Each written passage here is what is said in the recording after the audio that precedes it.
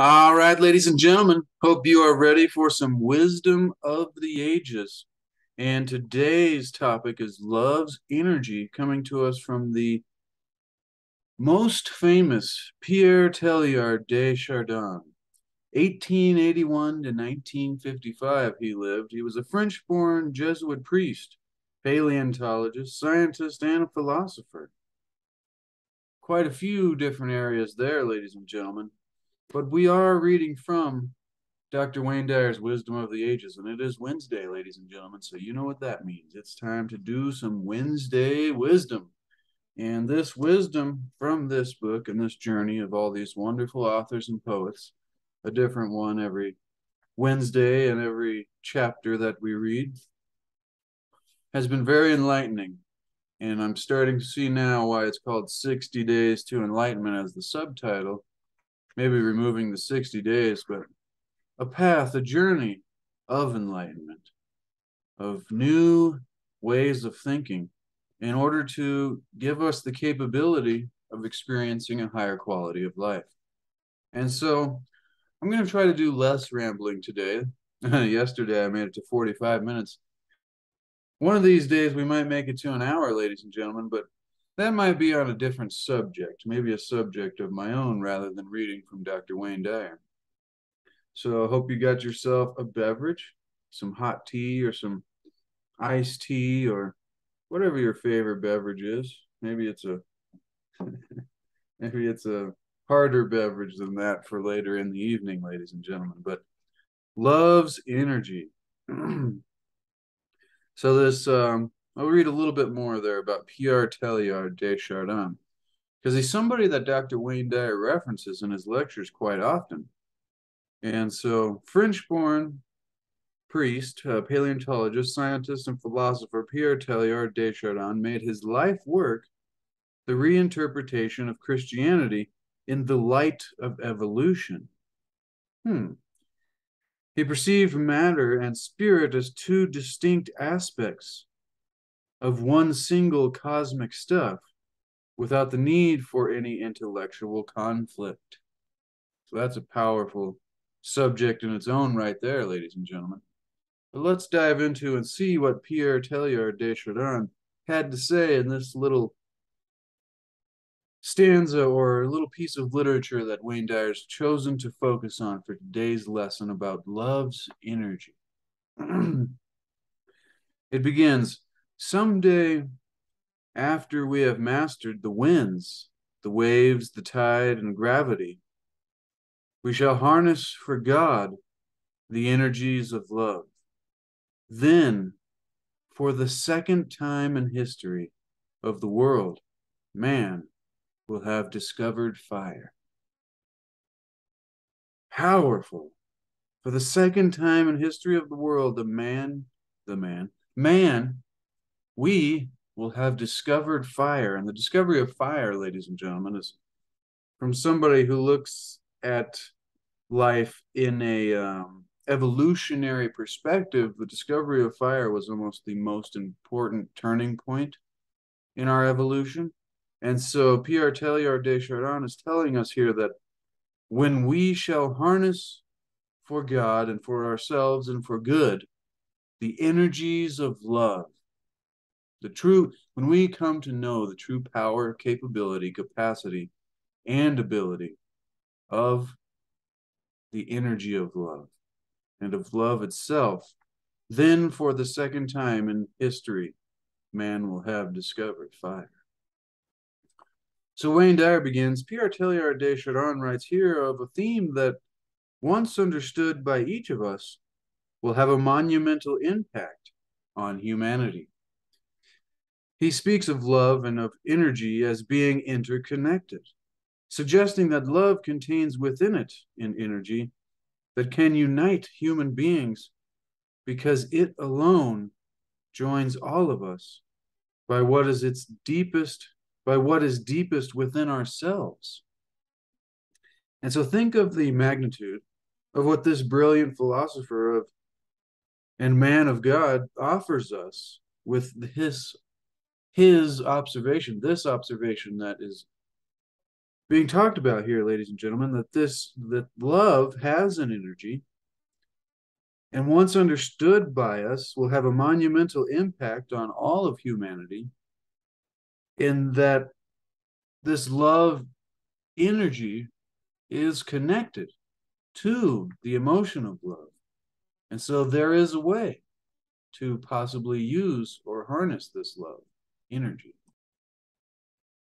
So he says, think of the magnitude of what this brilliant philosopher and man of God offers us with this observation. He assumes that the time will come when we will learn how to tame the winds, the waves, the tides, and gravity. And I would say we're probably almost there. And to make them subordinate to our endless need to supply energy for ourselves as a people. Okay. Notice that all of these energy sources are movements orchestrated by an invisible power supply. Once again, I'll, I'll list them there because this is a key point into getting, you know, these uh, spiritual or mystical ideas here and thinking of it practically. It's like when we, so the winds, the waves, the tides, and gravity when we can harness them, they all have this energy supply, this ability to create energy that we can then harness to use for our endless needs, this energy supply for ourselves as a people.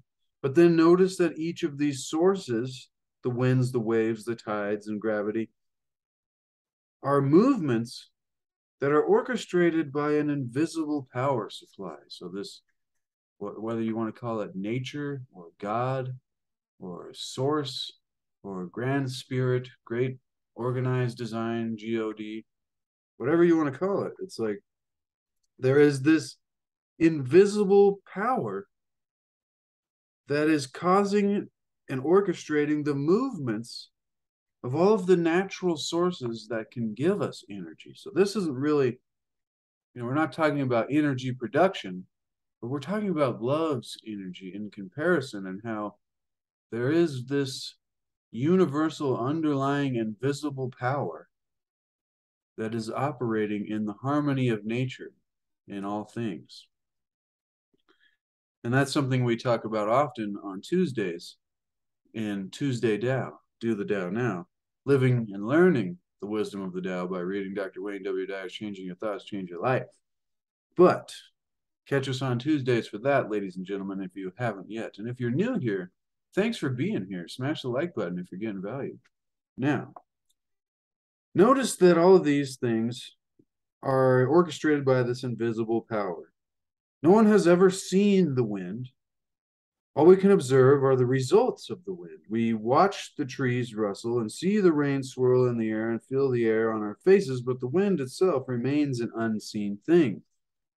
So, too, with waves, tide, and gravity. You might be saying, well, what do you mean? We can see the waves and the tide.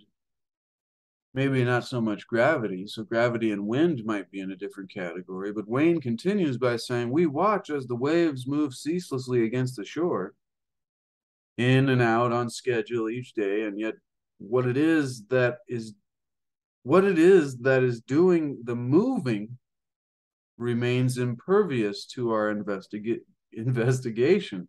So we see objects falling from trees, but what propels them downward is also a mystery to our sensory apparatus.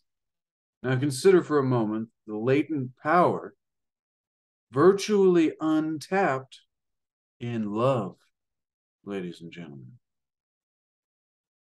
All we ever get to see are the results of the energy. No one can agree on what or where it is, Yet we all know and feel it when its results are made manifest.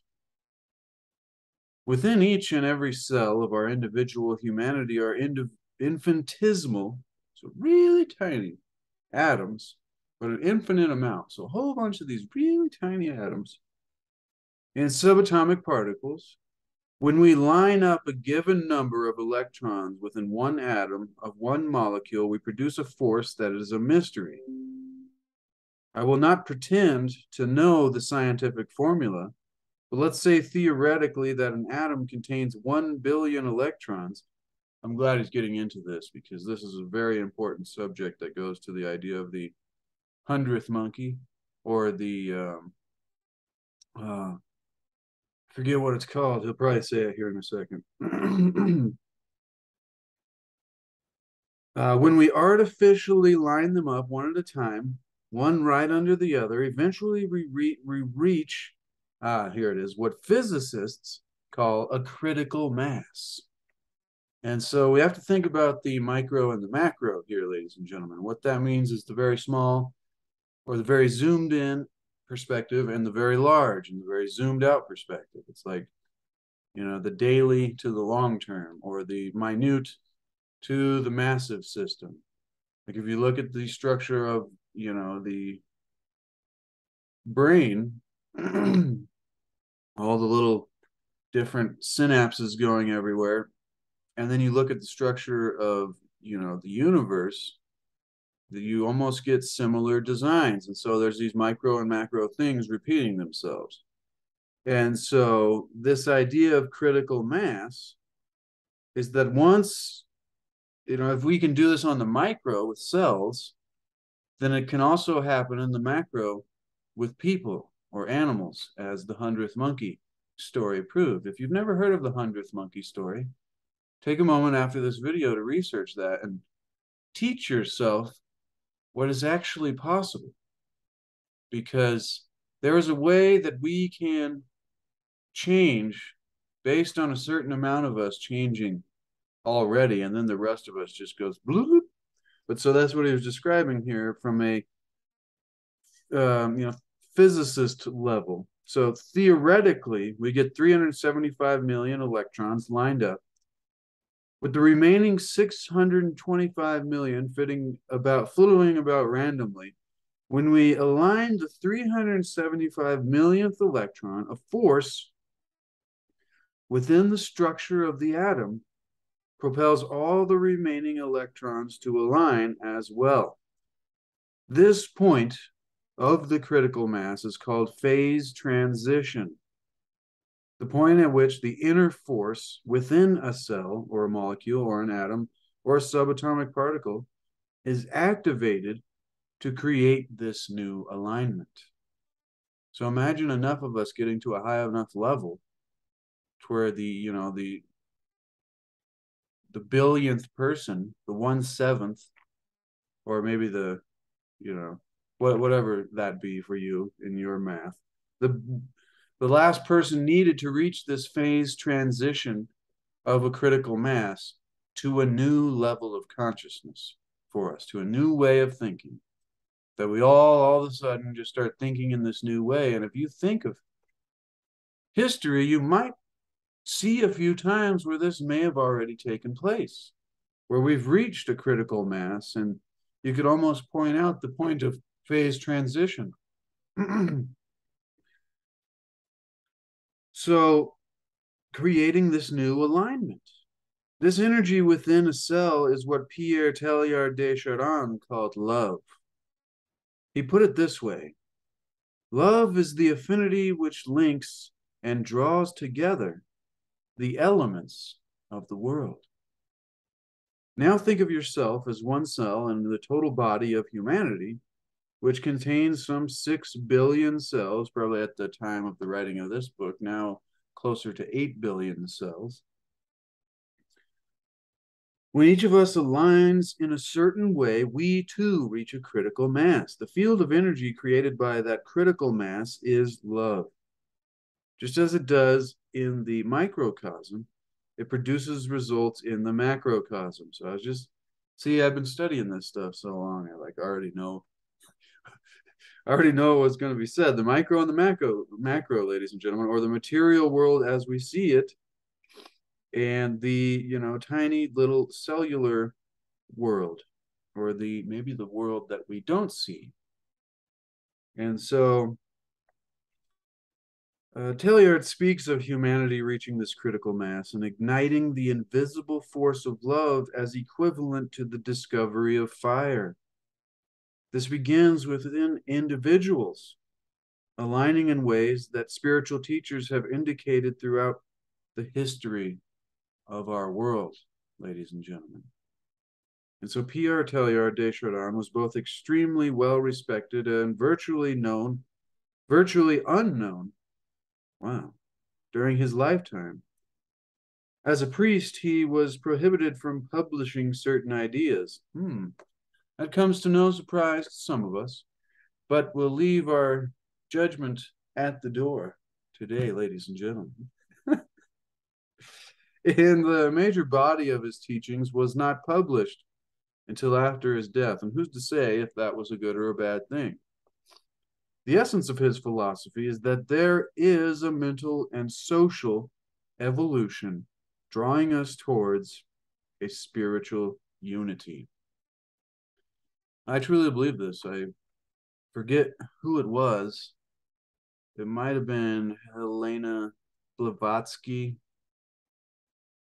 um, leader of the Theosophist movement, but it was one of these people that said there is a time coming where the the ideas hmm, yeah it was the idea that there is this time coming that there will be a great revolution but it will not be like any other revolution that we've ever seen before it will be this profound spiritual revolution much different than the industrial or technological or whatever kind of revolutions we've gone through. It'll be unlike anything we've ever seen before.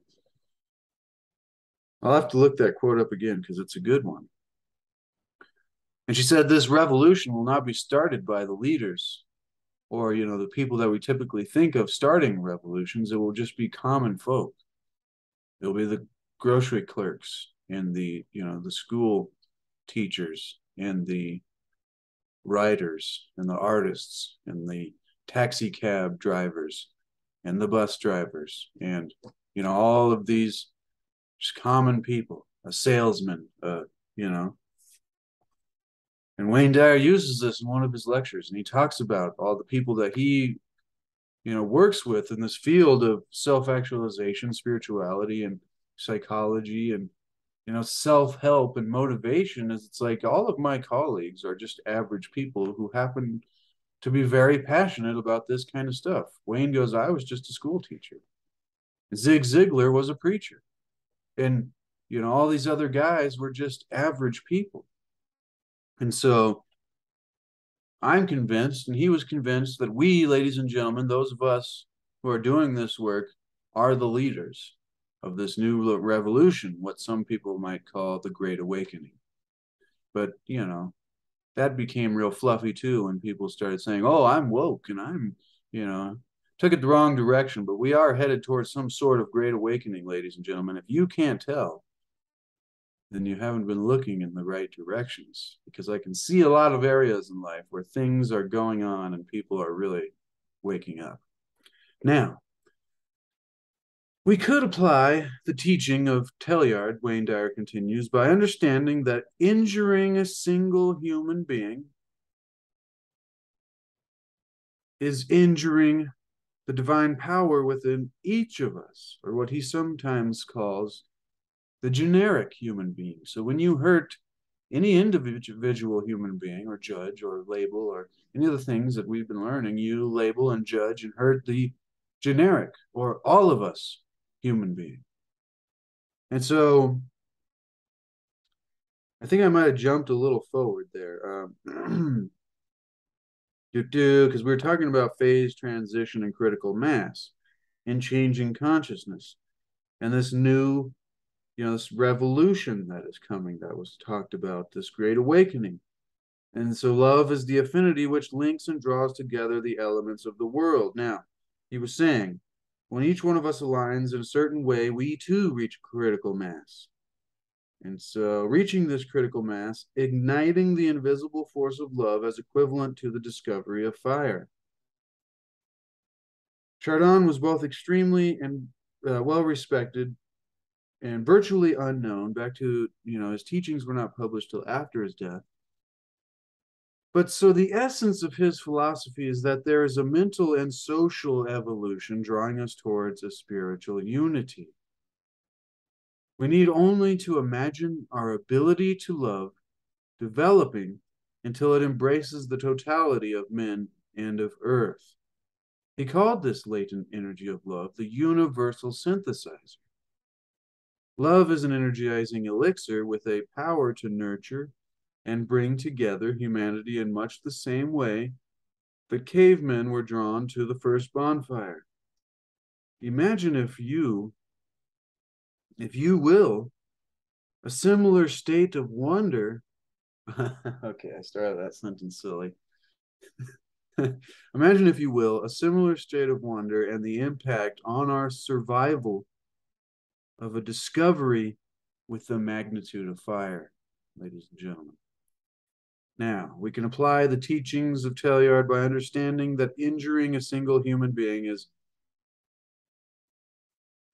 injuring this divine power within each of us. This universal synthesizer love is part of all of us, just as each electron shares the force with its confine within the confines of one atom. Thus, when we act with any mean spiritedness or negativity in our thoughts or actions, we literally inhibit the phase transition that will lead us to discover quote unquote fire for the second time in the history of the world. Every single act of hatred or injury towards another is action that keeps us from harnessing the energy of love. Think on that one for a second, ladies and gentlemen. Every single act of hatred or energy towards another is an action that keeps us from harnessing, and I will add growing and figuring out the ability of this energy of love. It may sound gushy and way too sugary to accomplish, but I believe that we can all tame our mean spiritedness, spiritedness and bring about this universal phase transition that Pierre Teilhard de Chardin predicted was our destiny, ladies and gentlemen. I am reminded, Wayne continues, of my all time favorite biblical quotation, the famous statement on love in 1 Corinthians 13, which begins If I speak in the tongues of men and and of angels, but have not love, I am only a resounding gong or a clanging cymbal. It continues beautifully, saying, We gain nothing without love. It speaks of the patience and kindness of love and the absence of envy, boasting, rudeness, self seeking, and how love does not delight in evil, but rejoices with truth, and concludes with this formidable message here quote, And now these three remain faith, hope, and love. But the greatest of these is love, ladies and gentlemen.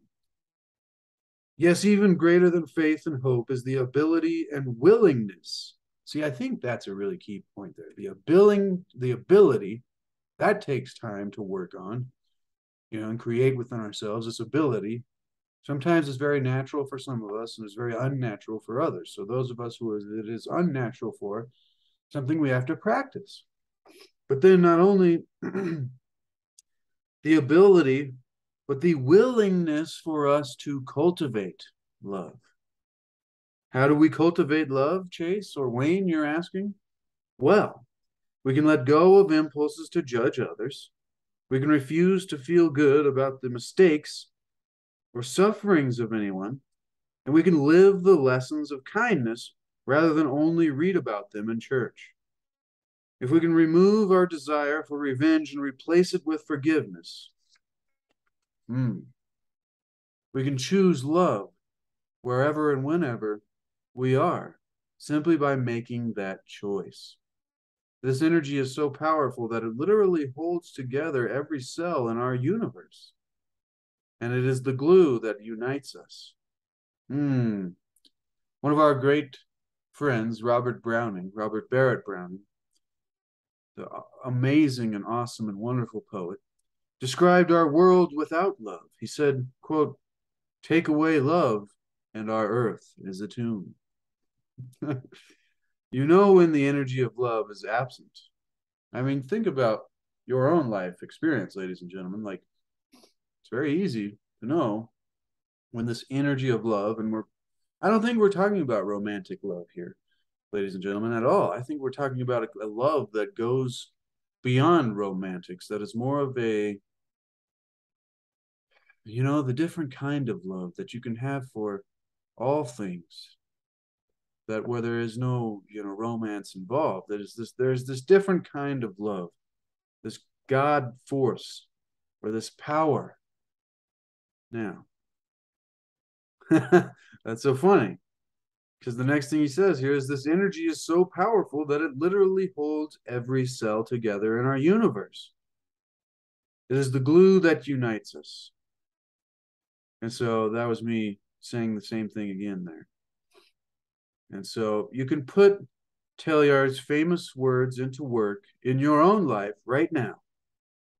How do we do that? I mean, this is why you should get this book for yourself to put it on your bookshelf so you can have it for reference. And I'll have it linked below in the description. All you got to do is click below the video there and expand the description, and it will be right down there for you. But the reason you want to get this, because at the end of each of these chapters, ladies and gentlemen, he gives us a little section here on how we can put each of these wonderful authors and poets and Wayne Dyer's advice into work, into practical action in our own life right now, here today. And in turn, increase the quality of our, li- of our lives, ladies and gentlemen. And so here are a few suggestions for harnessing the energies of love in your life. Number one, See yourself as the one cell in this body called humanity that can activate the, the energy for phase transition to universal love. You do not make a difference. My mind made a mistake there. You do make a difference, ladies and gentlemen.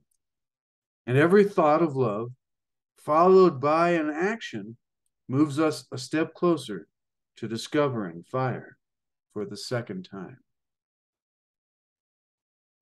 So, number one was seeing yourself as a part of humanity or one cell in the atom. Whoops, did that wrong. But you know what I mean, ladies and gentlemen. One one particle of the whole. And it's like we can be the ones that activate the energy for phase transition and critical mass to love. We do make a difference.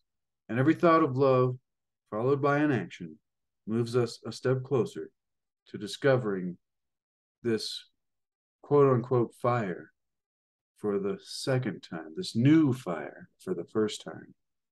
Number two, here on how we can apply this great wisdom from Pierre Teilhard de Chardin about love into our lives. Push out thoughts of judgment, revenge, anger, and hatred by becoming aware of them as they surface. Simply tell yourself, I don't want to think this way, and I refuse to allow it anymore. That's a mantra I used a lot in the beginning of changing my thoughts. It was, I don't want to think this thought. So, what do I want to think?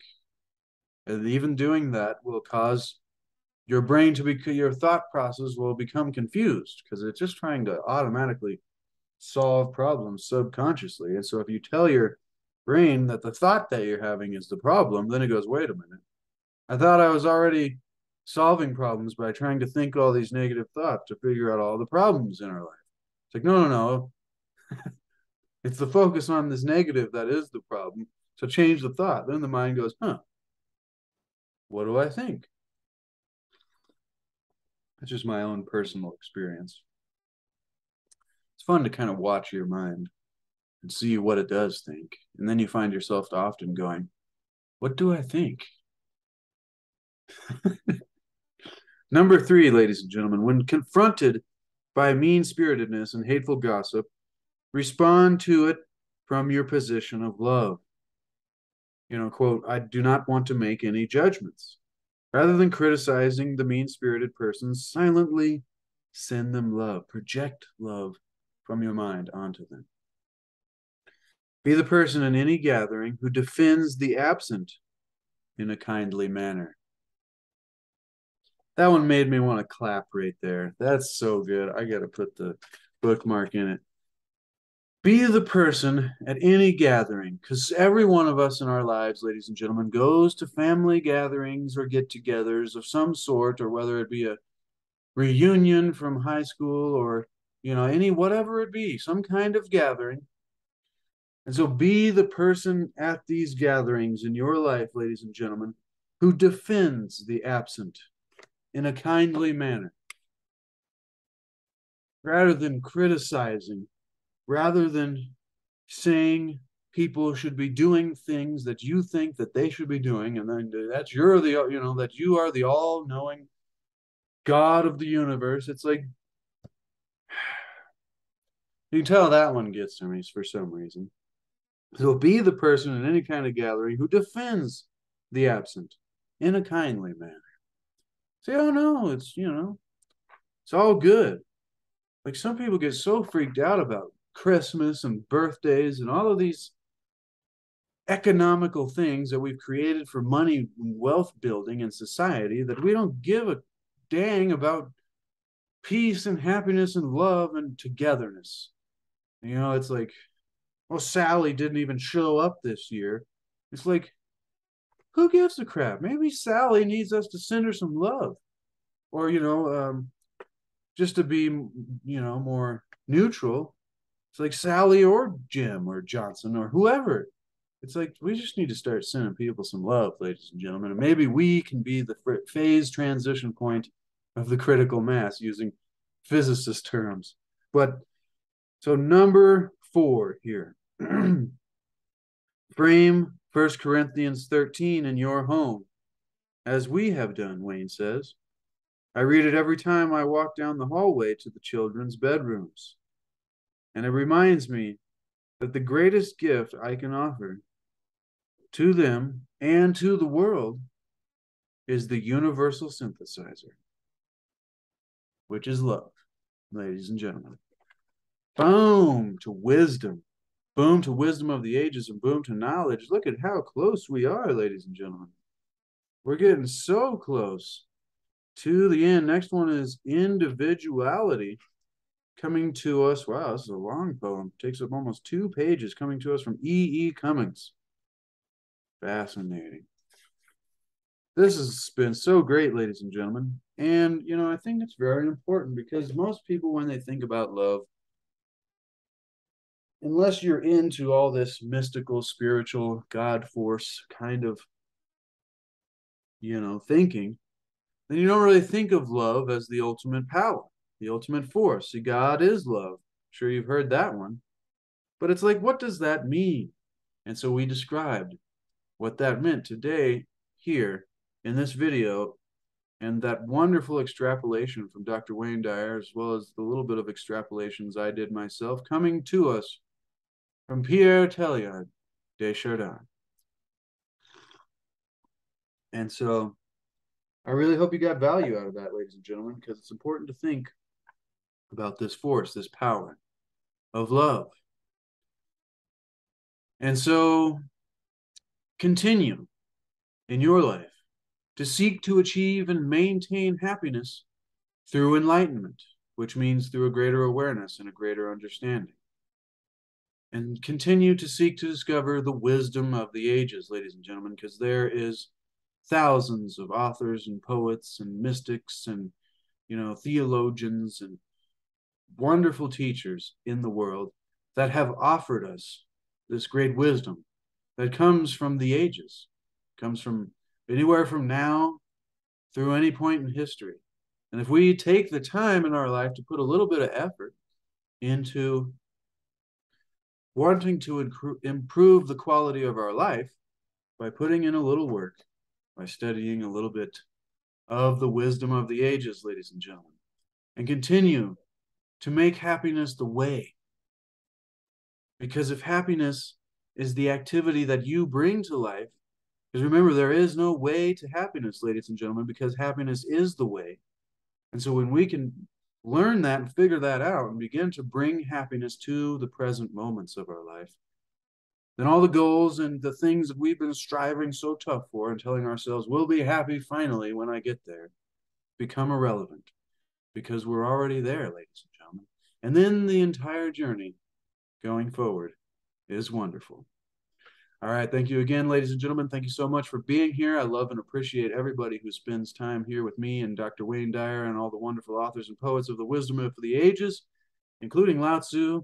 And as you can see, we're getting towards the end of that book. So be excited for the next chapter or the next book, the next chapter of knowledge that we'll be diving into after we finish this one, ladies and gentlemen, because it's been nine months. You know what that means? We've been in the process of creating something that will soon come to life. that was a good metaphor.